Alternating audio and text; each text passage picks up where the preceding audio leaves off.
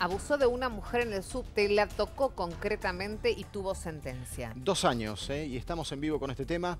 Eh, Maxi Real con las primeras repercusiones, incluso en el ámbito, en el espacio donde esto se generó oportunamente. ¿Hay repercusiones?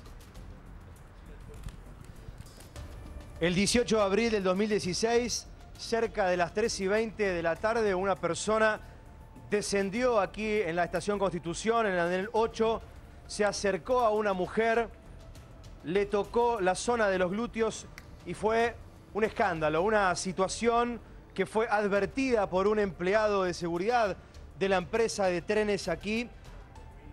Hubo un proceso judicial en marcha, una investigación, los jueces Javier Anzuategui, Luis María Rizzi y Carlos Alberto Rengel Mirat consideraron que se trató de un abuso sexual simple y señalaron que el tocamiento contenía un indiscutible significado de aproximación sexual. Es por eso que este hombre, por tocarle la cola a la mujer, va a estar más de dos años preso. Han dicho los jueces que la conducta es abusiva, no por su significado, dirección sexual, sino porque se ejerce prescindiendo de la voluntad de la mujer, reduciéndola a simple objeto del tocamiento y en eso consiste el abuso. Reiteramos, por tocarle la cola a una mujer va a estar este hombre que actuó de esta manera en abril pasado, más de dos años preso. Vamos a estar con todas las repercusiones aquí, qué piensa la gente y las mujeres sobre todo en el lugar donde ocurrió el hecho. Gracias, Maxi.